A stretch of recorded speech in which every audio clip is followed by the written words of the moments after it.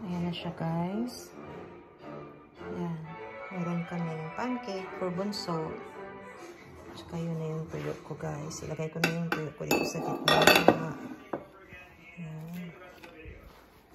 So, ayan. So, meron kaming strawberry sa pancake. And then, we have sugar.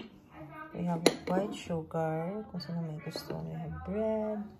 We have this corned beef leftover, bulad, and then pusit.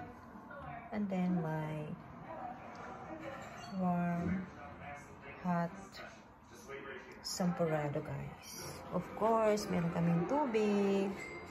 Ayan na, kakain na. Atak ng mga bata.